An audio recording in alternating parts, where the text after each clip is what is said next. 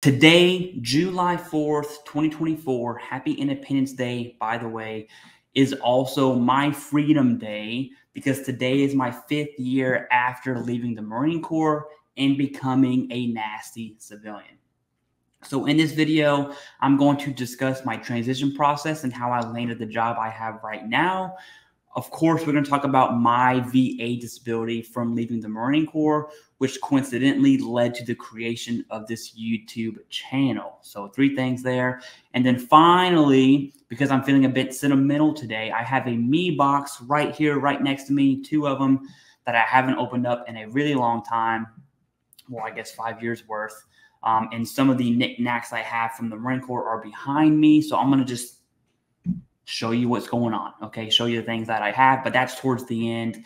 The good meat is going to be up front. So let's just, I hope you enjoy this, right? This is going to be a get to know me type video versus your normal informational video that I normally do. So I left the Marine Corps in 2019, and during my time, I started out in the infantry. Okay.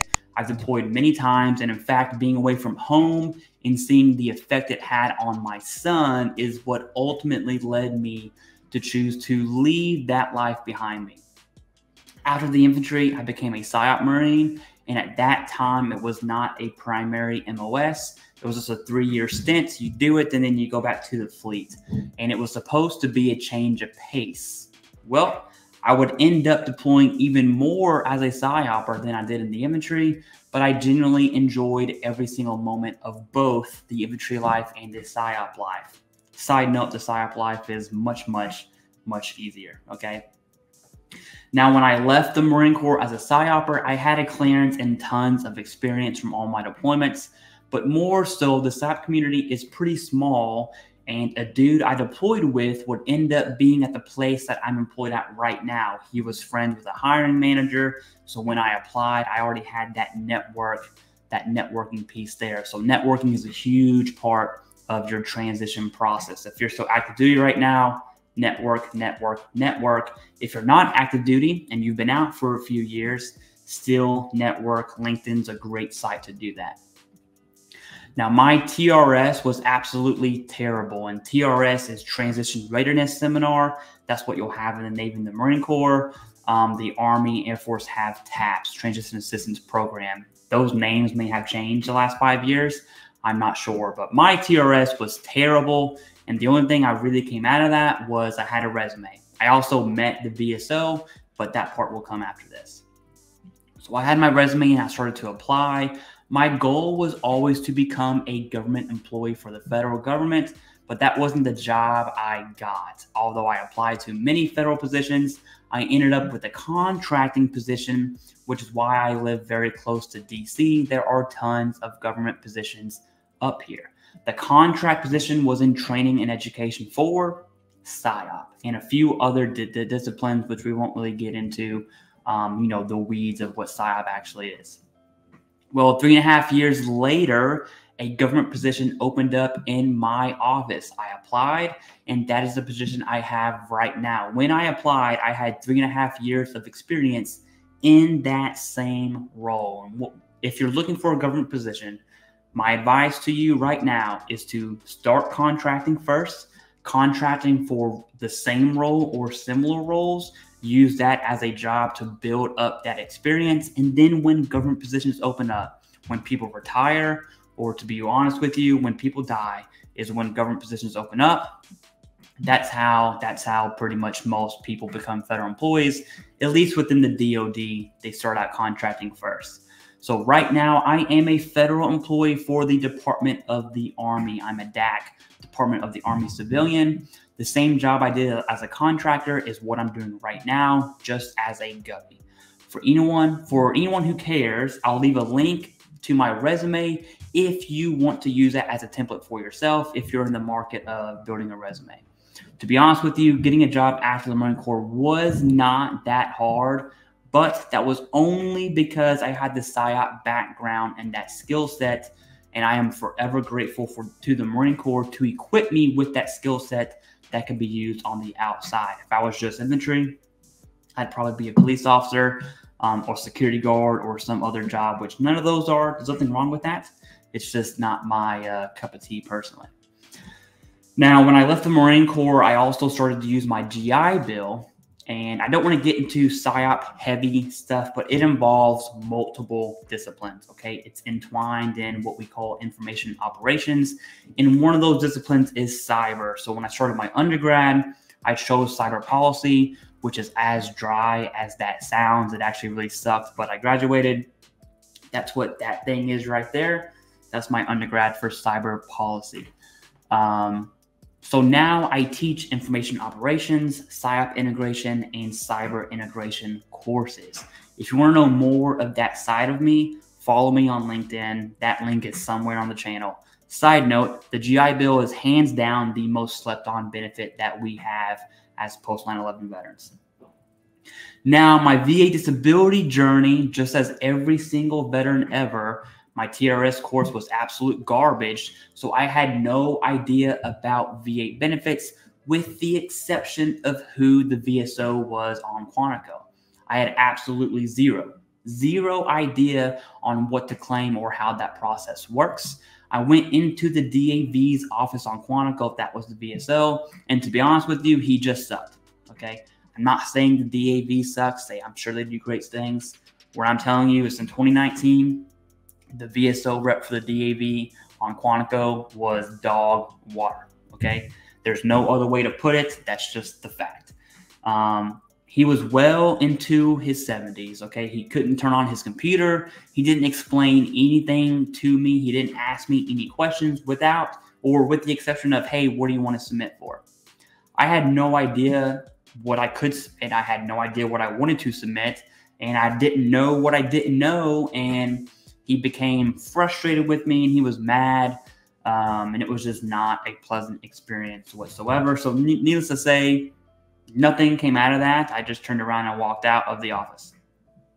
Now, there was a sign for the DVS, which is Department of Veteran Services for Virginia, which we now, which I now know is a state VSO. I didn't know what that was at first.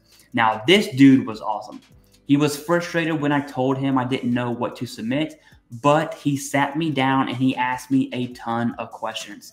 The only thing I gave him was my DD 214, and he asked me questions about my mental health, any surgery I've had, or any pain that I have. He would end up submitting for those and a few others, and I went out about my day. Months later, probably about six months later, I got my decision. But during that time, I had thought about what I experienced in the Marine Corps and I had an idea of what claims I wanted to submit next. So I went into that same guy's office and sat down with him. Only this time, it wasn't it wasn't good. It wasn't a good appointment at all. I asked him. Uh, I asked him about submitting for back pain and a few other things, and he told me that I should be happy for the rating I got, and that was pretty much it.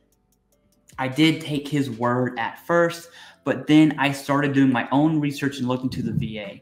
From the Googles, okay, YouTube started throwing channels my way. Now, I'm not going to call any channel out whatsoever, but I just didn't like how the information was being delivered um, from, from the platform.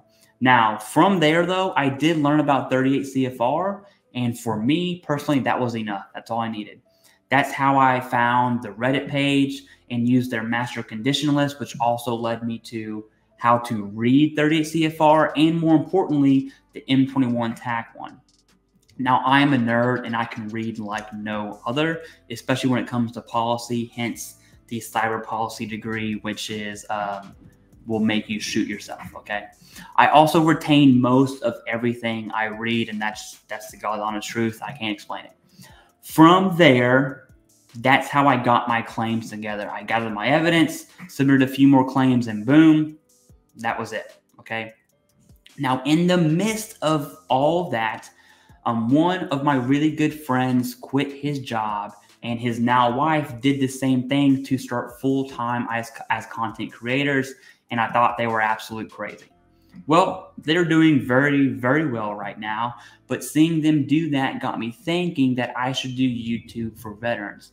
Mainly, I wanted to be a younger voice for all veterans, but specifically my generation, which is that post 9 11 baby generation. At this same time, one of my friends signed with a company that charges six times the increase, and he was talking to me about them. And I looked at his claims, and all that company did was simply submit the increase. There wasn't a DBQ with it, there wasn't a consultation about how the C&P exam is going to go. It was just submit the increase, nothing else. He was awarded 100%, right? Had to pay a lot of money. And that just really made me mad because there was a predatory aspect to it that personally I, I wasn't down for. So my mission on here became to educate and inform the veteran community to ultimately disrupt the market against claims consulting companies. You can agree to that or not. It doesn't matter, and I really don't care. Okay. I try my absolute best to provide information for veterans to be dangerous when it comes to submitting claims for the VA. If you, as a veteran, want to use a company, go ahead and do that. It's just my opinion that you don't need them and they're simply taking your money from you. I don't want to get into it deeper than that. You can look at the rest of the channel if you want. Now, my YouTube has grown, and I never knew monetizing was a thing. But once that happened, I've definitely put more effort into this YouTube thing. Everything on my channel is free, and everything on my website is free. I am tra- transparent about every revenue source. So if you're curious about all that, check out the website. I do live Q and A's and answer questions, all questions, but those who donate will always have their questions answered no matter what, right then and there. I also have a membership here on YouTube and a Discord server where members can ask me questions anytime throughout the day, and I will answer each and every question on that Discord in full all the time. So if you want to become a member, hit join and be sure to link your YouTube account to Discord. Join the Discord, and all the directions are right there. It's super easy, I promise. And I say that because after I talk smack about claims consulting companies, I already know someone's going to talk about Google AdSense, um, but Google AdSense doesn't take money from veterans' future benefits. Food for thought. Now, the moment that we've been waiting for and something that I'm excited for myself is this box. Now, I'm going to start with things I have in the background, and then I'm going to go through what I have in this box, okay? Um, hopefully the audio stays. I'm just going to kind of move around and not edit this at all. Bear with me here, okay? So first, I have books. All these books, I absolutely love. I've read all, all the books I have up here. My favorite book, and I'll show you, is right here. The Return of George Washington. I read this while I was in the Marine Corps. Absolute one of my favorite books. It talks about the United States post Revolutionary War, pre the presidency of Washington. Um, Washington definitely understands, you know, what we would call um, political influence. This is a great book. This is the birthplace of America, American politics, right here. Hands down, one of my favorite books. Now, my second favorite book is definitely Marine Corps oriented, and that is right. Where's it at? Uh, with the old breed. This is why this book right here is why I joined the Marine Corps in the first place. It follows Eugene Sledge. Um, he was a Mormon. I became a Mormon because of this book. Seriously, I read this in high school. If you have not read With the Old Breed, or you're not a reader, you want to watch TV, go watch The Pacific. Okay, I think it's on Netflix now. It's an HBO series. Um, in my opinion, and I've read a lot of war books, this is the best account of war from a Marines, soldiers, from, from, from a service member's perspective. Not the high up mumbo jumbo general this, general that. This right here is what war is. Um, absolute great book. I'm not going to put that back. Now, this is my me corner right here. I'll start with this. I took this picture um, in Afghan. It's the U.S. flag, the Afghan flag, and the Marine Corps flag. I actually have all three of these flags hanging up in my garage right now. Um, I am very proud of my flags. I still collect flags. I was a mortarman. This here's a picture in Afghan with 81. So there's some some homies there. I won't say their names, but uh, I miss you. You know who you are. Okay. This is my patch I wore when I was in 3rd Battalion, 9th Marines. I'm covering up my kill number. Um, if you know what a kill number is, you know why I, that's something I should cover up. This right here is a NAM. This is just a cool picture that came with it, but this is the NAM. Um, long story short, I made a expedient antenna to push some PSYOP stuff. And then um, I also shot down an ISIS drone. That's what that's for. Definitely one of my proudest moments ever was right here. These are pictures of the homies. Um, I won't say their names, but just know that I love you and prayers to you and your family. Okay. This is the mortar section. 2-9 Echo right here, baby. That's at 29 Palms, a disgusting place. All right, I guess I'm gonna have to put all that back, which sucks. Okay, I'm only to talk about the ones I got in the Marine Corps here. Um, a few of these I've gotten as a federal employee. As you can see, the rank structure might look a little weird to you. That's because, yes, I was NJP'd in Korea. I got really, really drunk. Um, maybe that's a story for another time. Okay. But hey, I made it back. Got out as a sergeant in the United States Marine Corps. My favorite coins, hands down, the OG. I hope that works. Is that going to work? No, it's not. It's too dark. So this is the 3rd Battalion 9th Marine coin. Um, maybe I can zoom in on it. 3rd Battalion 9th Marines. This is the OG 39 symbol. I'm always going to keep that. This is a Afghan coin. Right. Um, we'll skip that one. Second Marine Division, baby. Second Mardiv. What's up? East Coast. Those are my favorite coins. And of course, 8324. If you know, you know. Okay. These are my coins here. This beautiful E-tool is chipped. You can see it's chipped here. Um, this is the tool I use in Syria to dig holes and sleep in. Every time we'd move, I broke it, and so I kept the E tool. Now, Fun fact, and I won't say his name, but I ended up asking a friend for his e-tool when I left the Marine Corps, and I told him I'd buy him a new one, which I did, except for the one I bought him was from China, and it was like this big. Needless to say, he couldn't turn that into CIF issue, and he had to pay for it out of pocket. So to you, buddy, I'm sorry, but uh, you're the reason I'm able to keep this. So keep that in mind. Um, these are my medals. Okay, there's two rows here. Um, af- of note, Let's see if I can open this thing up. Dang, it's a, of note, right? There's the Afghan medal. There's NATO. That was for Haiti, I believe. Ketchup mustard. That's Korea. Good conduct. Look at that. I got NJP, Article 15, and got two good conducts. That's whatever participation. That's the NAM, and this is for Syria, OIR. Okay.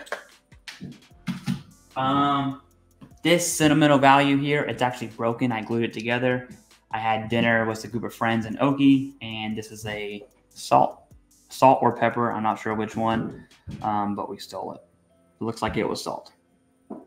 Sorry, Sam's. Sam's restaurant in Okinawa. I sorry.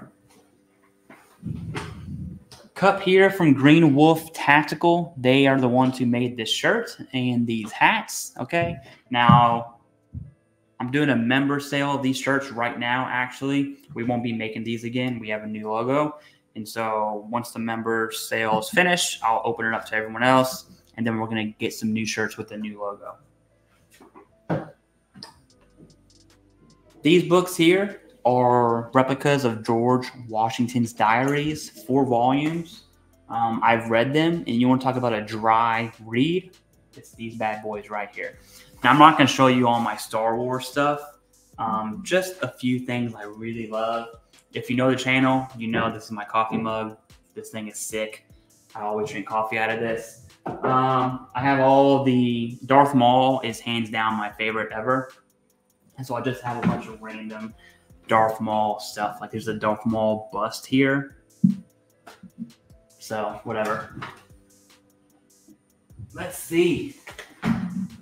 This ammo can is Smoke Pit Fairy Tales. Smoke Pit Fairy Tales. Um, he is a he was a Marine. Started as combat camera. Also did psyop. Um, left the Marine Corps and started an entire series. This is just the first six books. Um, I believe there's 10 books now, maybe 12. But Trip Ainsworth, you can look up Smoke Pit Fairy Tales. It's an awesome, funny book. Seriously, this is awesome. Okay, now let's get on this me locker here. Okay.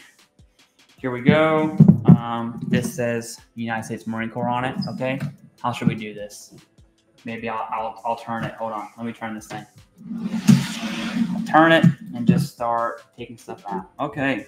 Man, this is a Thule, okay? If you are a warfighter, you know what a Thule is. It is the Tactical Handbook Unit Leader Small.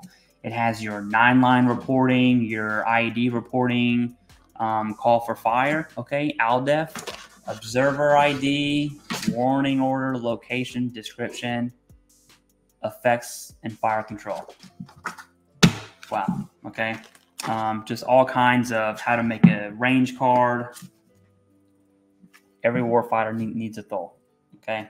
I remember we would take what we needed out, like the call for fire. You can tell how this one is not as white as the other ones because we always had that thing on a center flak. But there's that. Um, oh, one thing I do want to mention: this is fan made from a veteran of the sh- of the channel, and so are these coasters. So thank you very much. You know who you are. This is a PSYOP coaster here, and this coaster has the CivDiv logo on it with my name. So thank you very much. I appreciate that. Okay, what else? All right, this is a, I'm going to call it a scarf. It still has the Afghan dust on it, which is gross. Um, it's not a scarf. It's called something. I forgot what it's called. I apologize. But that's what this is. This thing is filthy, dude. Woo. Okay. Um, I should probably watch that. Woodland tags. I mean, a bunch of just stupid stuff. Desert tags with the Velcro. Okay, with my name on it. French Fourragère right here. I was in 2nd Battalion, 9th Marines as well, which is a part of 6th Marines. And so we had the honor, the privilege to wear the French Fourragère on our blues. Um, really, really terrible PSYOP patch here. Should probably throw that away. I'm not. Let's see. Ooh, so this, I forgot all about this, man. I bought this, which is Ninth Marines striking. I bought this in Korea when I was with 2 9. Um, super old patch. I bought it, okay, at the store. At the store there on the base. Thailand patch. I did go to Thailand, and if you haven't been to Thailand, it's beautiful. I'm not going to tell you any Thailand stories. Um, I'd probably get in trouble from my wife. Here's my Libo card from Okinawa. I still got I got got this bad boy. I was a corporal. Hmm, this is pre NJP. Pre NJP right here. Beautiful thing.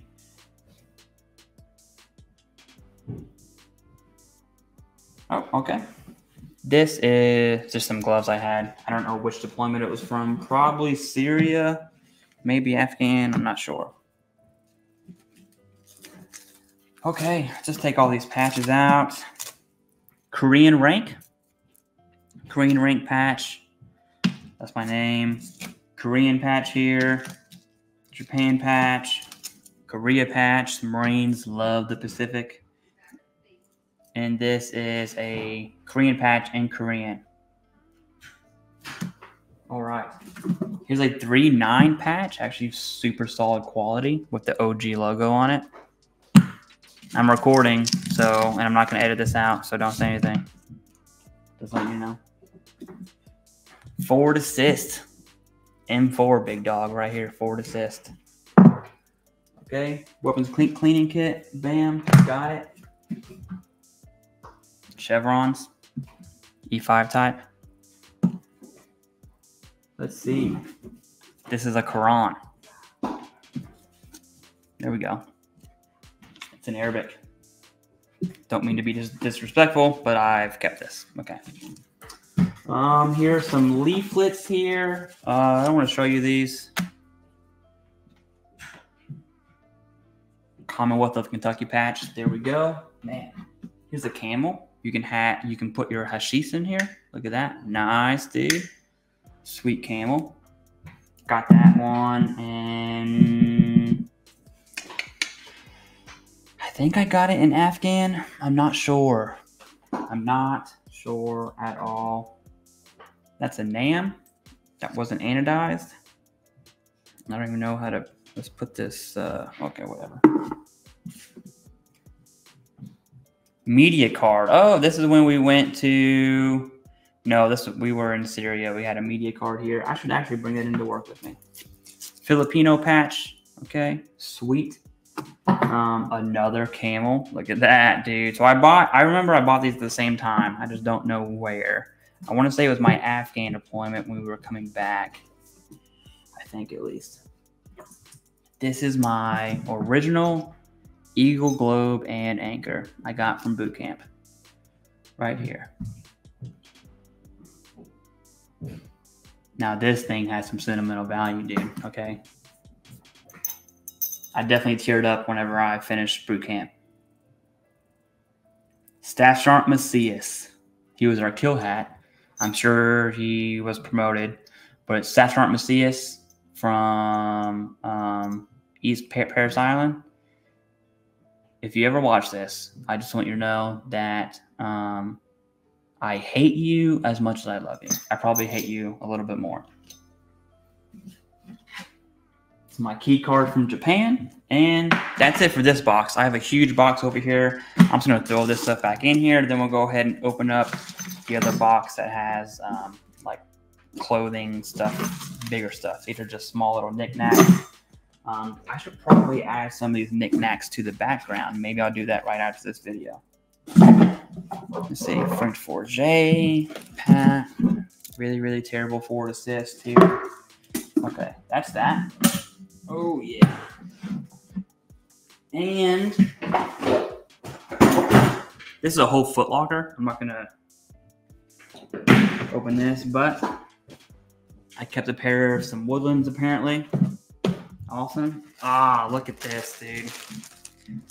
This is frog gear, um, fire retardant something. Um, Syria, 2017. So this is my frogs from Syria. I pray that I washed those. Hopefully I did. That's not something I would do, but hopefully I did. Here's what I wore in Afghan. Nice. Kept the frogs there. Oh, dude, these are blast panties. You know what blast panties are, then you're not seeing anything new. But this right here is super thick. It's kind of like Kevlar almost. For if you were to roll over or step on an IED, hopefully it protects your junk. Um, I guess depending on how powerful that is. So this is also Afghan. Here's the boonie. Nice. Maybe we'll take off the CivDiv hat and put the boonie on for the rest of this. Oh, dude, I should totally wear this for more videos. Okay. Um, boot bands. Who keeps boot bands? All right, there's boot bands. Um, let's go ahead and just drop these below here. Boop, boop, boop. Here's the woodland beanie. Nice. Here's a shirt. Does anything logos on it? Or nope, it's just a shirt. Olive drab shirt. I'm hoping to make olive drab. Um, look at them short shorts, baby. Look at those bad boys. All right. Cover. Oh my goodness. And what's inside the cover? Your honor, courage, and commitment card. If you're a Marine, you know what this is honor, courage, commitment. I got this at boot camp and I kept it in my cover to keep my EGA, solid. I kept it in my cover the entire time I was a Marine, and it's funny because I still have it in my cover right now. The longer you've been out, the more you miss the Marine Corps, and I'll change my battery right now. Okay, so we're back now. More woodlands, sweet. Oh, here's the desert Marpat, man. Woo! Kept one pair of each. That's pretty cool. MCMAP belt. Ding ding. This is a Philippine Navy, Filipino Navy PT uniform. Tank top here.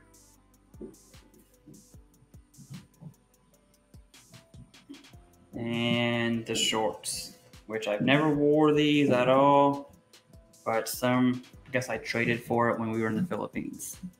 Let's see. More frog gear. This one's from Syria.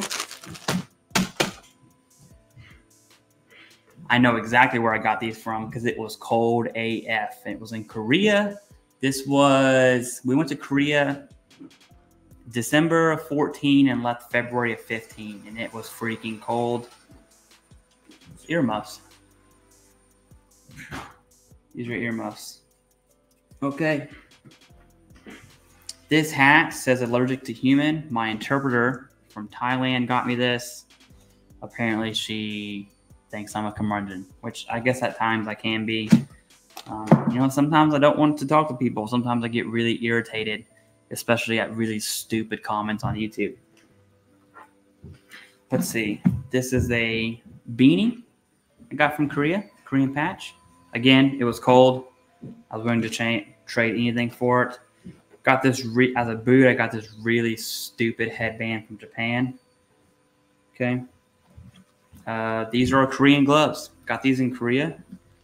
Apparently, I was desperate enough to trade watches or shirts or whatever I had.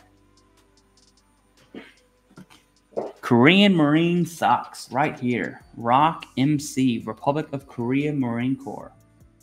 That's pretty cool, actually. That's pretty dope. Pretty dope, dude. Okay, this is what is this? The shirt from the Philippines. It says We got guns and shit and need booze here, bitch. All right, obviously I was an idiot um, in my younger days. When I was I went to the Philippines in the infantry in 2014, I would have been what 20 years old, I think 21. I don't know. Young enough to buy stupid stuff like that.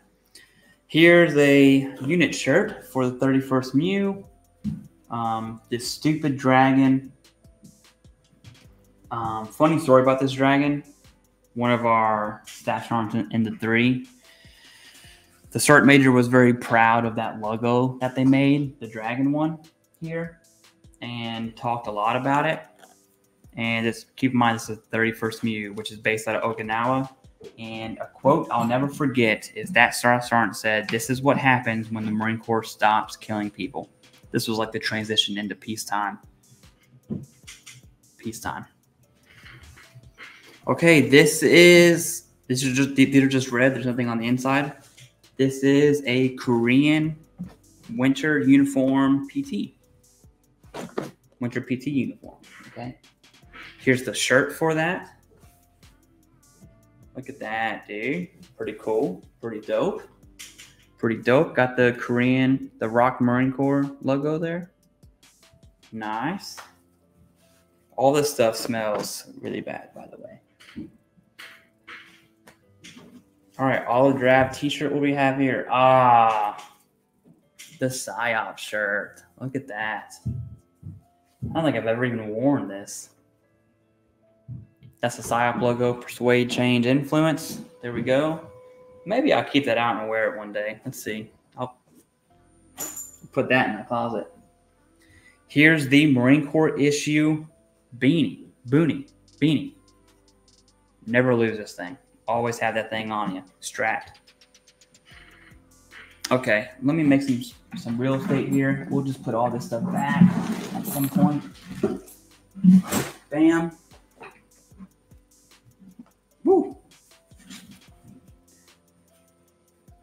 So you would think this is flamboyant. I'm using that word specifically. Um, it's not. That's fishnet. It's a tank top. Um, this is a Philippine Marine PT uniform. You can imagine how hot it gets in the Philippines. And so this is what they PT in. Um, no, well, actually, I did wear this in the barracks in Japan. Um, but when you're in the barracks and silkies and this bad boy, um, you can do whatever you want. Okay. All right. I think these are my, oh, these are my unit shirts here. Okay. This one is Advanced Mortarman course, hands down, one of the best and worst courses I've ever been to. Advanced Mortarman course with that sick logo, you can see. Okay. Um, dude, the amount of PT we did on that course was stupid. Sergeant of Marines, look at that. Nice. This we had to get for PME a professional military education course because I would never wear that ever in my life, ever. This is 24th MEU, baby. I left the MEU to go to Syria. That's the 24th MEU's t shirt here. 24 MEU, Marine Expeditionary Unit. All right, what's this one? Please don't be something stupid. Corporal's course. Yep, Corporal's E from the front. See, really, really dumb PME shirts. Um, I would rather I would rather die. Seriously, die. Like sacrificing my kids is really really close before wearing that shirt. Um. Ooh, here we go.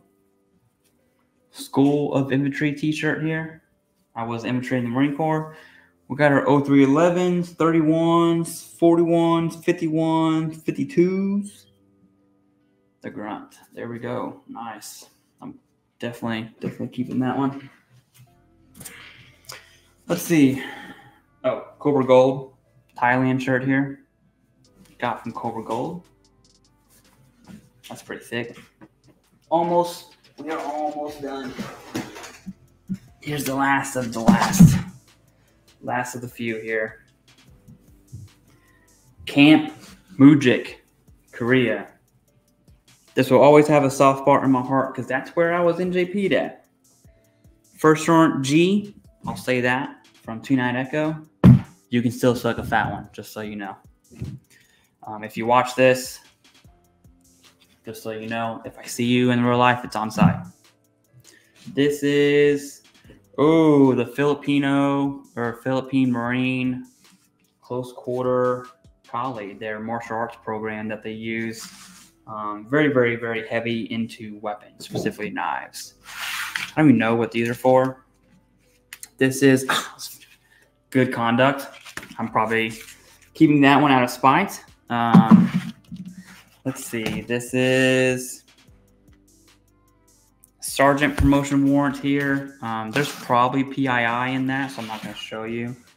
That's a Oh, corporal promotion. I will show you this. This is from, this is a personal letter from my sergeant major at the time.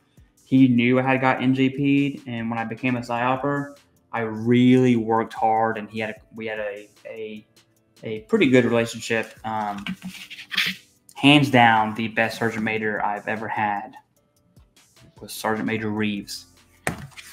So, kudos to you, big dog. Here's my Reenlistment, dude. Yep, I reenlisted. Is there anything PII on here? Nope. This is my enlistment warrant. Reenlistment. Okay, good times. Promotion warrants to corporal. Here's my advanced mortarman course and infantry course cert. Um, I will absolutely never. looking at I don't see anything. Uh, there is some PII. Okay. Just know that this was a Mortarman course, advanced Mortarman course, and infantry course, and this is an empty one. I don't know what the heck goes in there. Um, whatever I want, really. But that's it. Okay. If you stay to the end of the video, let me know. I definitely want to know. No, I'm not going to wear this boonie all the time. Um, if you stay to the end, say something about your time in service. Let me know what one of your best memories are. Something I shared on YouTube, my community post. Today's July 4th. Um, I remember in Syria that morning, all I was on the already, I was attached to Artie at the time, and all of the guns raised their elevation, pointing almost straight up, and they all had American flags flying, all four of them, and it was just beautiful. I remember waking up. I was wearing silkies that morning, um, and waking up, going out front of the berm. We were sleeping in halls, and just it was such a just a weird feeling to get. Um, very patriotic, and we were right outside of Raqqa. This was during the battle for Raqqa in 2017. Um, later that day, we got delivered O'Doul's, which is non-alcoholic beer. You can find this in the post too. Um, to keep them cold, something I remember as well. We put them in socks and tied them up from like the net netting. And if they were in shade, you throw water on them, and as the wind hits it, it cools it down, almost ice cold. And so we were drinking O'Doul's and um, Thomas McDaniel, beautiful mustache, said, uh, he said, today's a good day. The sun's shining. We're drinking cold beer and killing ISIS. And I will never, ever, ever forget that quote. That's not paraphrased at all. Um, sad to say, and I had a video on the secret war about studies coming out of mental health and TBI specifically from that deployment Thomas McDaniel would go to kill himself. So that's always sentimental to me. One of my favorite memories is with him, and I'm grateful to have met him. And that dude is as American as they come. So respect to you and your family, McDaniel. That's all I got. Thank you very much.